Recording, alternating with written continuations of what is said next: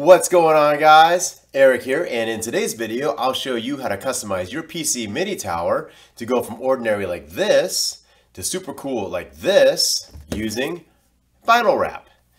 At the end of the video I'll talk about how much it costs to do a project like this, about how long it takes to do, and how much you might be able to charge if you wanted to offer this customization service to others who want to customize their PC.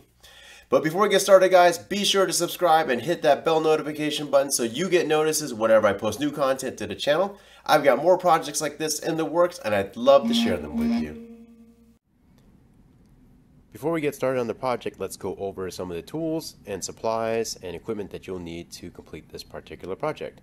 So starting from the left, we have a heat gun here and um, that'll be your heat source to help soften the vinyl and to help it stretch also to help you seal down the vinyl well and uh, find any air bubbles that you may have missed in the application process of the vinyl. Here I just have a, a, a tool belt kit to hold some other items on here. You can see I've got a tape measure, something, a mark, uh, grease pencil here for marking things. This is a back slitter knife uh, for cutting between the vinyl and um, the backing paper itself. Uh, you can also cut things, just cut the vinyl to shape with that. Um, I have a squeegee. This is just a 3M gold with a buffer on it uh, by Monkey Strips. This is a wrap glove, which I use often to help smooth down the vinyl. Um, it helps your fingers slide over the vinyl uh, more easily and smoothly. These are the two vinyl colors I'll be using. These are both uh, VViViD vinyls in their new Ultra Gloss um, series, uh, released late 2020. This is Ultra Gloss uh, Racing Red and Ultra Gloss Nardo Gray. Um, and then you'll need um, some utility knives. I have two here. Uh, one's in a VViViD body and one's in an Olfa body. And right now both are using 30 degree snap off blades by I believe NT Cutter. Uh, and by the way guys, all the stuff that I have here I'll have links to in the description as well. And then these three colored um, sticks are basically micro squeegees.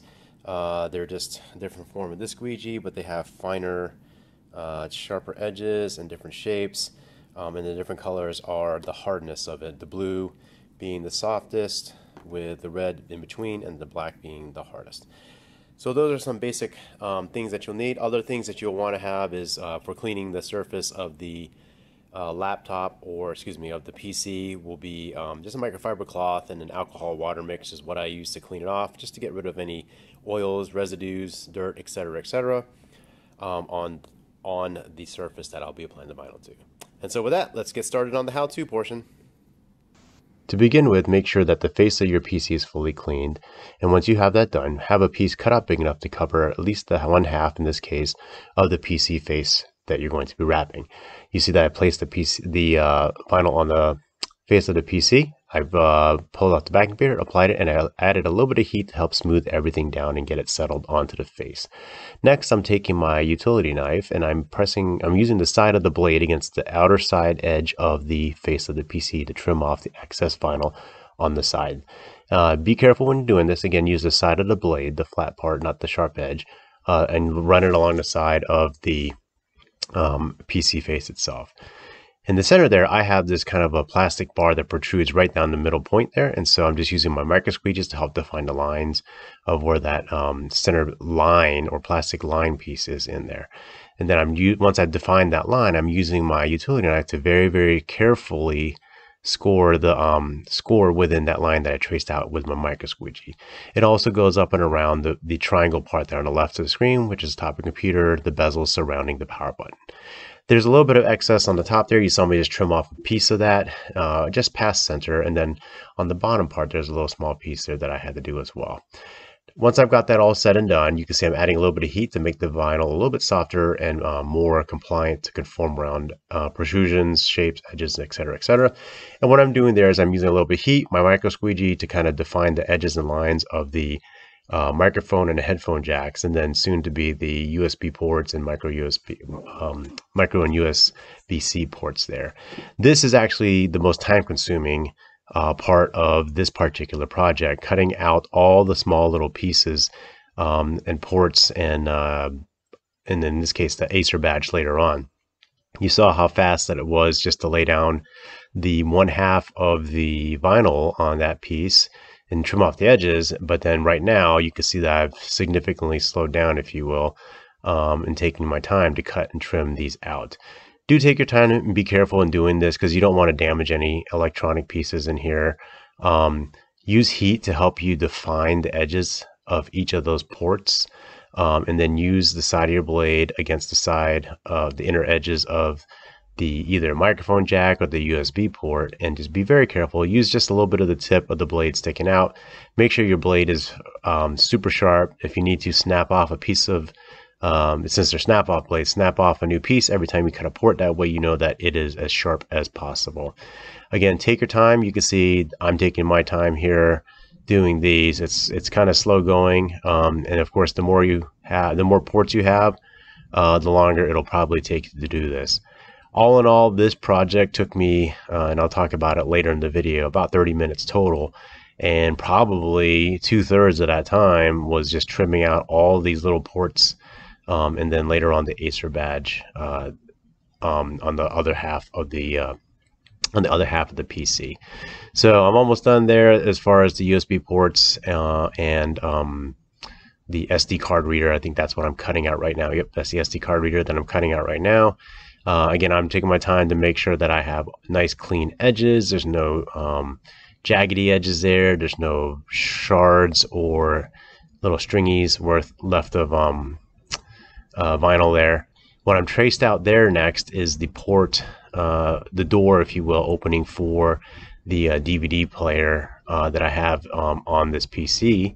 Um, and so you can see I just trimmed that out and then I'm going to just finish uh, as I go over everything again. I'm just kind of make sure I got everything trimmed out nicely. Um, on the DVD player door there, you can see I'm kind of just trimming off some excess uh, vinyl along the edges that I think I could get a little bit better. And when I'm doing that, I'm no kidding, just shaving off hairs, like very thin, very, very thin pieces of vinyl, very, you know, basically the size or the depth or thickness of hairs. So that side is done for all intents and purposes, and then I'm basically going to do the same on the next side. I'm applying my vinyl, smoothing it out, peeled off the plastic protective cap on this particular vinyl, uh, which has it. Not all vinyls have it. Adding a little heat to help everything settle down and smooth out. I'm now using my micro squeegee to trace out the line in the center and then around the power button bezel uh, on the side and the top there. The next thing I'm probably going to do, or next thing I'm going to do is trim off the excess on the outer edges of the PC face. And again, just running the side of my blade against the side outer edge of the PC face. Um, take your time, be careful, don't gouge your PC. I mean, if it's your PC, you might not care too much about it. If you're doing this for somebody as a friend, uh, doing this for a friend, or if you're doing this for a customer, you definitely want to take your time and be careful doing that. Um, I just use my micro squeegee one more time to help make sure I define and trace out that line really, really well. The better you trace out your lines and define where you're going to cut, the, the easier it will be for you to cut and the more accurate your cut will be. If you're if you don't trace lines out that you need to cut very well or very um, you know, your blade cannot follow it easily and you'll be using more freehand motion than you will the actual like a guided straight line. So I've got that cut and you see a lot of peeled off the excess there. I'm just going over the edges a little bit to kind of clean everything up around the power button bezel. Um, and I'm kind of looking around to make sure as well that I've got, there's no other um, edges or pick edges that could be shaved off. Next is the, the next is the most time consuming piece here along with the ports that I just did on the other side. And this is going to be tracing out the Acer symbol. This one was a little bit tough. Uh, it's kind of small, lots and lots of curves. So I had to take a lot of time doing this, uh, adding heat at points, um, using my micro squeegee to definitely help define and trace out those lines. As you can see, um, I'm carving, I'm tracing out a little bit and then I'm cutting out a little bit, tracing out a little bit, cutting out a little bit. Um, I'll throw in some heat in there to help soften the vinyl and then press it in so I can see the lines a little bit better uh, in order to trim this out carefully uh, and accurately. Um, because you don't want to spend all this time carving out most of the, um, the lettering and then you mess up and then you mess up bad enough that you now now you now have to start over again. Uh, and then you've just wasted that time and then this little bit of material that you're using for this. So definitely take your time. Um, I, as you can see here what I'm doing is again I'm tracing a little bit with my micro squeegee and then cutting a little bit tracing a little bit and then cutting and I'm making sure I'm tracing a lot because as I trace, I could trace the whole thing and start trimming out, but over over that time, it starts to kind of pop up a little bit because it's not really set in there very well. I'm not trying to do an embossing here, um, so I'm not pressing it that hard, but I am pressing it in good enough so that I can cut the excess out of the um, uh, of the badging there. So just continuing on to do that, um, and then we'll be almost done here. And I fast forwarded just a little bit, and you can see that I finished cutting out the Acer badge there. Once you're all done, add a little bit of heat to seal down your edges and make sure that you can find any trapped air bubbles um, under the vinyl. And when you're all done, this project is complete. Okay, so now that I've shown you how to customize the face of your PC tower using um, the vinyl wrap, let's talk about how much a project like this might cost you to do.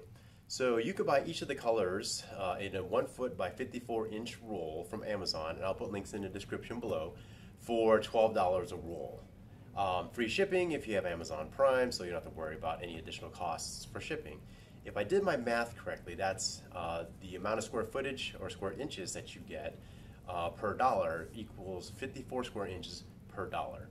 Now each side or each half of the face of the PC tower, I used a 13 inch by 4 inch strip of each color, which if I did my math correctly is a 52 square inch amount. So at $1 per 54 square inches, um, I used up uh, 52 square inches per color, we're talking a material cost of right around $2 each uh, of the roll that you buy, of each roll that you buy. So for $2 of material cost, that gives you a good starting point on how much it might cost you to do aside from your time. So let's talk about time. Uh, in the video, I did accelerate it, um, and you saw that it was pretty easy to do, but all in all, it actually did take me about 30 minutes, a little bit more than 30 minutes to do this. Why that much amount of time? Well, as you saw in the video, it was very easy to lay the flat part down and then carve around or uh, trim off the excess in the sides. Where it got more of the time consuming was carving out or cutting out each of the small ports for the microphone jack, the headphone jack, the USB plugs, and then in particular cutting out the, um, the Acer uh, emblem in the front. You, I could have carved it out um, just in one on the outer edge and pulled the whole Acer off, but I decided to leave the center part of the A uh, and the little center part of the E in there, which added a little bit more time. Those are very small, very fine uh, details that you have to take your time to do so that it comes out looking nicely. So that, uh, that took me about in total about 30 minutes to do, a little bit more than 30 minutes to do the whole thing. So we're looking at about 30 to 35 minutes to do um, this particular project and a material cost of roughly $2. So if you wanted to sell this particular service, uh, maybe as a business or maybe a friend of yours asked saw your PC lap your PC uh, or your laptop and said, "Hey, that's pretty cool. Can you do something like that for me? I'll pay you for it." You'll then have to decide how much you want to charge to do something like that. But again, the amount of time you have or that you can estimate in doing it plus the uh, material cost of $2 gives you a good starting point. So you might be able to charge, if it's just your buddy, you might just give them the friend discount and say, hey, look, you know, pay for my materials and I'll do it for free. Or, you know, um, I'll do it for 30 bucks or 20 bucks, whatever, right? Um, if you're going to do this as, offered as a service to others, say, for instance, as a business, um, you may want to consider other factors like overhead, utilities, other things like that. And so you may charge a little bit more. Again, it will depend on your particular market, what it would allow, as well as what you and the customer might negotiate. So you might charge the customer, I don't know, 20, 30, 40, or $50, depending on what it is you're going to be doing. This one was fairly easy, but it did get a little bit complicated in the fact that there were a lot of small little things I had to trim out, which took up about 80% of the actual time of um, applying the vinyl itself. So those are things that you'll have to consider if you're going to offer this as a service in a business type of fashion to others to make some money on the side or as your business.